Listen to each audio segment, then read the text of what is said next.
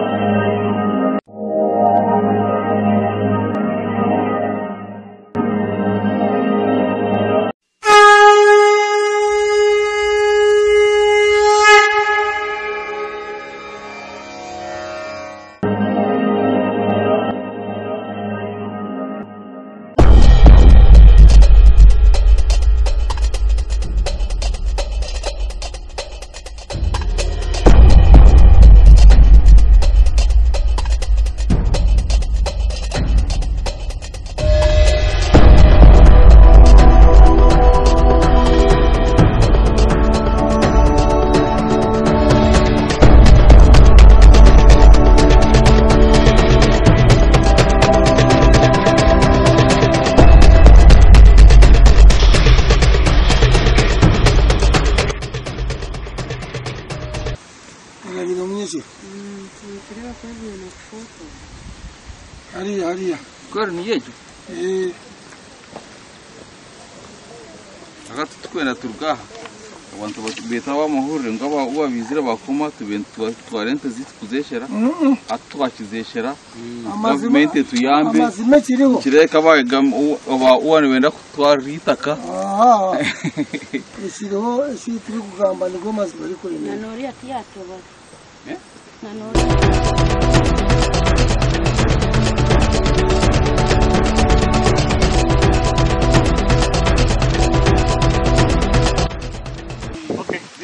ati ntujya kujyaho urukiko? Twera dushomesa abantu twe no muntu ayitwe enju. Na munongo wo bwana yakora urego abantu uranga uko kukireba gitera ibati waro teri ware bashi a he ku itara a he ku itara impunu bwen ki ka wow akira kamera akira kamera tariho adana kakushamwa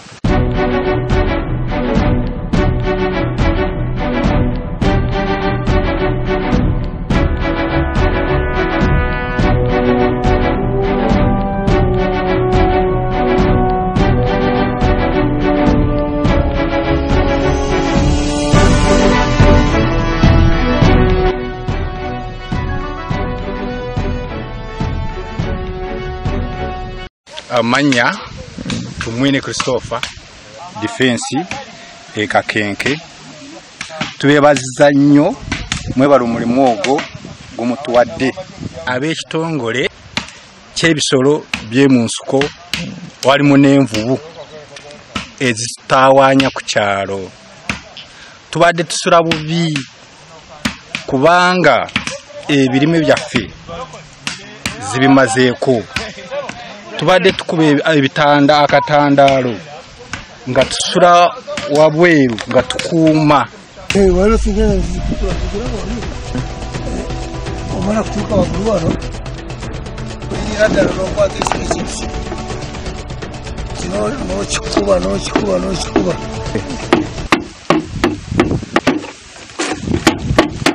Tukyetaaga obuyambi kubanga ekitundu kyonna ero singa ekakenke yaffe. Ekyalo kinene ate envubu nyingi.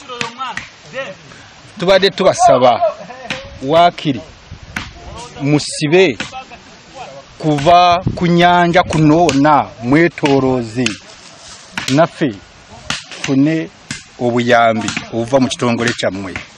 Ffe ebisolo bitumalawo byakate embizi taano ate n'abantu bibaduka ko ngo babyara bata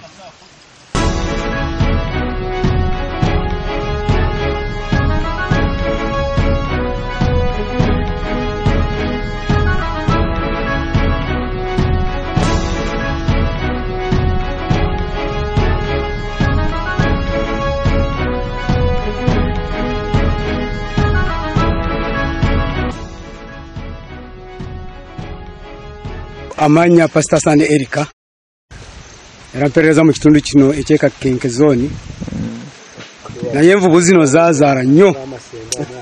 Zizadde. Kubanga balimi bwe balima mwezisula tugenda kukungula amakungula ag'oku- ag'okungula. Kasooli nga zamulidde ebyanjalo n'emuwogo n'abalima emboga. Bagamba abantu bafuuse baavu tewakyali balina sente zisobola kuweerera omwana ku ssomero. Naye tubeebaza nga gavumenti kubanga omulimu guno gwe mutandise tuyinza kuganyirwamu abantu b'ekitundu bano balimi tebalina mulimu omulala gwe bakola. Be balima amakungula gaabwe mwe bajja sente naye n'abaana tebakyasobola kugenda ku masomero olw'obwavu obutulumbye bw'ensolo zino. Naye tubeebaza kubanga muleese enteekateeka ennungi mwebale mukama abawe omukisa.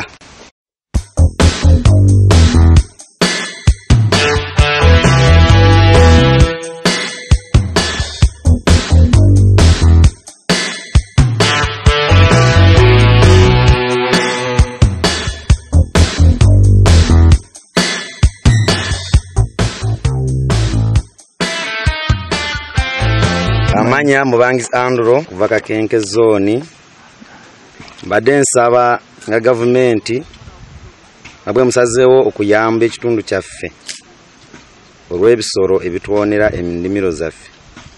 Mutuyambire ddala ebisolo ebyo nvubu era baye tusaba bwe muba munaatuyamba nga mwagala kusiba olukomera mwetoloola ekyalo kyonna. Baffe turi- tuli baavu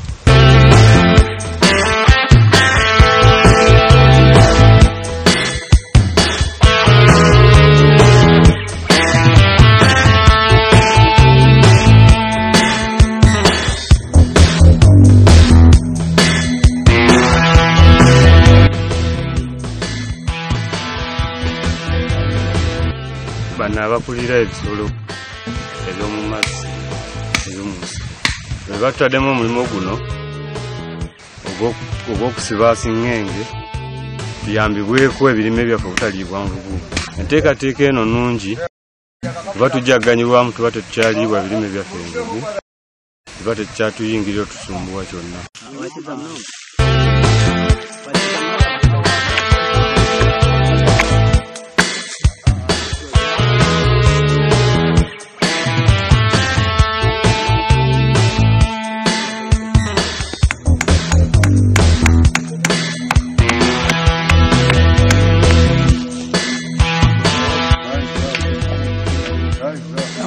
bensimiyolamu temaani w'ekitundu kino kye kakenke zooni erusiba kiri mu muluka gw'ekimuli mugombolo ye kagamba. Envubu tulima titukungula. Eh, zive mu nyanja nizijira ddala nizirya ennimiro z'abantu. Kati obudde buno enjala etulirwa abantu bakufa enjala ku lw'envubu ezo zatanze no kwinjira mu maka zisanga ntiziwesibye zigita songeno ni ku disitirigiti bakimanyi.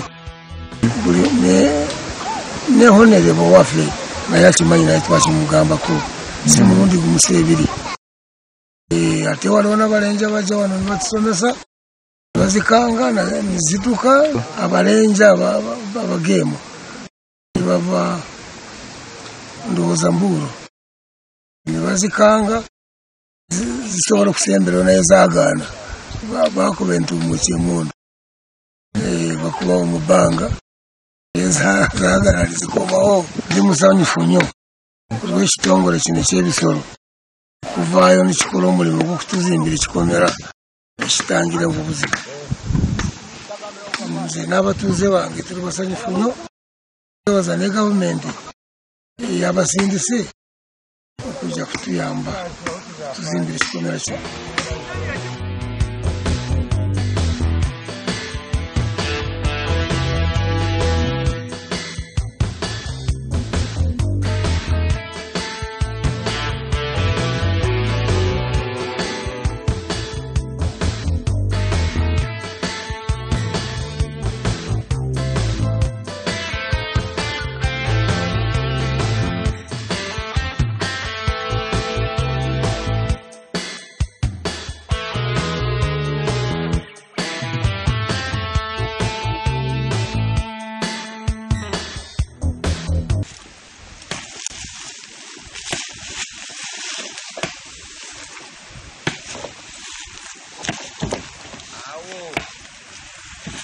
I am UW 02797 attached to Kakuto Wildlife Center by names of Niwaga Barokas. Uh, we do thank our bosses from headquarters who have come with this program of actually helping us in controlling the wildlife, most especially the hippos we have in Kijani Barora Lake. It is all over, that problem is all over areas that are surrounding the Kijani Barora Lake, but we've been trying to solve that problem by sensitizing people on how to coexist with them, their benefits to them and the country at large. So we warmly thank our bosses who have come with this method of controlling these animals, the hippos, from uh, destroying people's crops. And it has actually, it is a big challenge to us here for these hippos that are staying in the communities that don't have anywhere they can go. So whenever we come to Sensei, we do tell people how to control them, the messages, but today it is actual, and actually communities have helped us today to participate in Mm activities.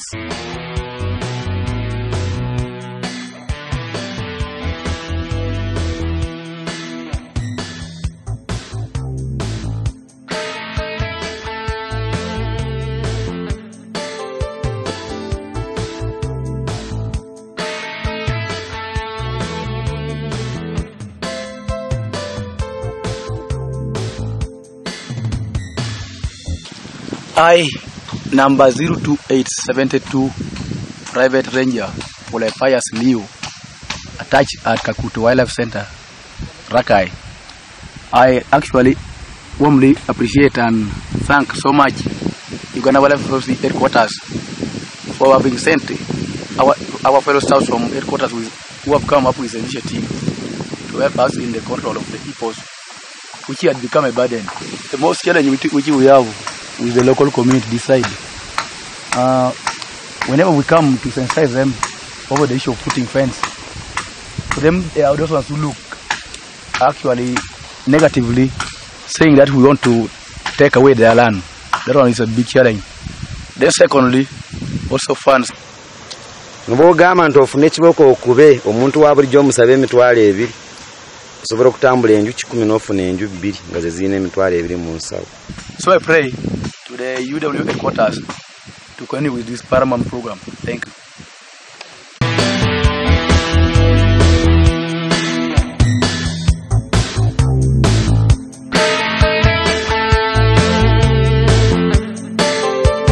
By names of Vidyabagaruka Julius, uh, staff of Uganda Wildlife Authority. I work in conservation department, community conservation department as a warden, education and awareness. Uh, why I'm here, I'm at Lake Kija- Kijani Baroda. We have a number of hippos in the lake and uh, these are hippos which interact with communities around and uh, in the long run they create human wildlife conflicts. So we came up with uh, an uh, intervention of a hippo demo fence.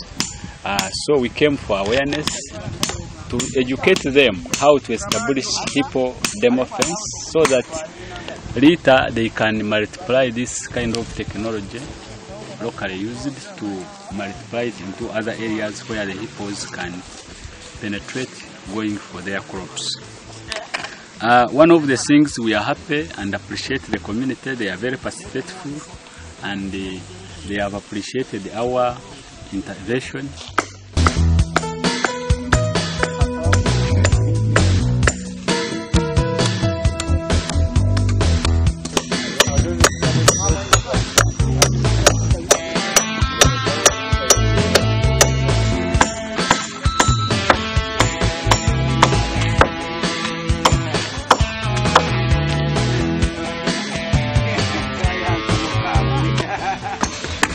Nange nziremu amaanyi kubanga nange ninyekwatiramu ninyiga ebiti ate kubanga we hopeful that it will work because it has worked in other areas like on Lake Chamwiga in Chambura, Rubirizi district, and other areas where we have established, we have monitored and we have found that this intervention is very, very active and effective.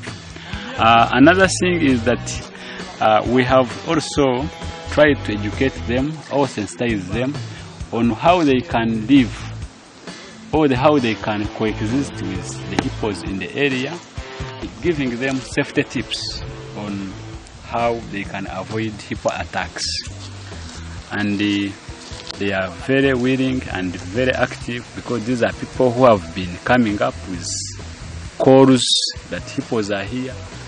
Instead of harassing them or hunting them, they are really reporting them and I hope this intervention will, will improve uh, the corporate image and our community relations. Thank you very much.